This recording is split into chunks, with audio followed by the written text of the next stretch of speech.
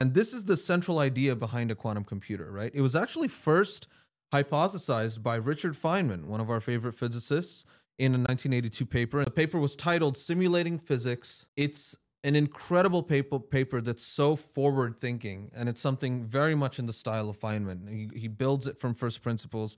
And he asks, like, okay, what if I want to um, simulate a quantum system? Right. Okay. What would that take? And here's the math that he does. He says, suppose I have an interacting system of n quantum particles, okay? And I want to simulate all of that. Can I do this with a classical computer? Pretty soon it gets way, way out of hand. Okay. And here's why. In a classical computer, well, you would just have one thing and then you can decide whether it's a zero or a one, but you can just keep track of each of the bits. You need to store n bits, that's n different transistors that are storing a zero or a one. If you want to start doing quantum systems now, combinatorically, it goes insane, right? Because just let's imagine two quantum systems, right? Like two electrons that are spin up or spin down. You actually have to keep track of four different complex numbers Okay. You have to keep track of the spin up, spin down. You have to keep track of the spin down, spin down, and then spin up, spin down, spin down, spin up. Right.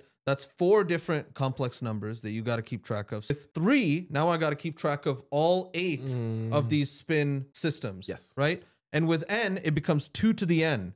Two to the n different numbers to really fully characterize a quantum system because each of these each of these individual spin states are themselves distinct and so i need a number for each of these distinct spin states if you scale with the number of bits the amount of stuff that you can store in a classical computer becomes linear but the amount of stuff you can store in a quantum computer bec- becomes exponential, exponential right because a quantum computer by design is storing all of the little values for each of the superposition of these states so it was a very simple simple argument that Feynman made, and he did a, this back of the envelope calculation. He's like, well, if you need two to the n numbers, if you want just like 40 interacting particles with two states, that's two to the 40.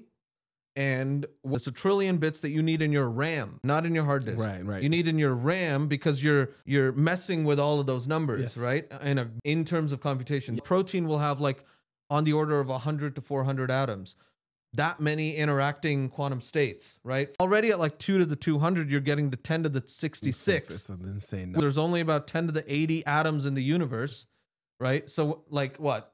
Each atom in your universe is now, you know, like yeah, you can't make transistors. Yeah, it's not feasible. That was the main impetus, and it was sort of introduced by Feynman in, in the 1980s to start thinking about